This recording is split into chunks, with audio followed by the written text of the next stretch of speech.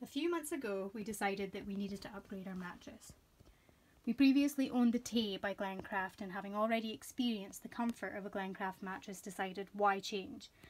What we looked at was this particular mattress from their luxury range, having already heard some really good reports about this mattress from people who had previously stayed at the Marcliffe Hotel and slept on this particular mattress. Considering that we need to sleep on this every day for approximately 10 years, one of the things to consider is the durability and quality of materials that this mattress provides. It's made up of approximately 1500 individual pocket springs which offer individual support for each person sleeping in the bed. It also has layers of mohair, cashmere, horsehair, you name it.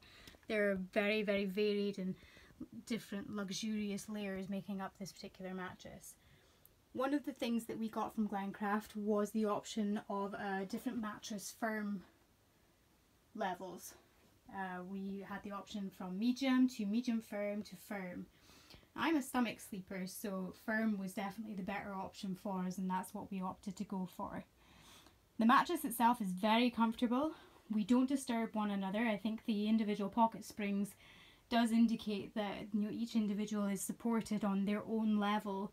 So getting up at night, be it to go to the toilet or someone coming to bed late, the other person is not disturbed in quite frankly, we both get a great night's sleep. There's absolutely no question about that. But really, the luxurious layers, they're fantastic, but that's not what makes the mattress. What makes this mattress is the feeling I get when I get into bed every night and the feeling I have when I wake up the next morning having had a great night's sleep.